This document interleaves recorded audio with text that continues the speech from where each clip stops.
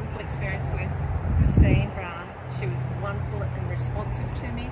She replied to my email at 6 o'clock in the morning, I believe, of it, my interest in this RDX and now I'm a very proud owner of the new RDX.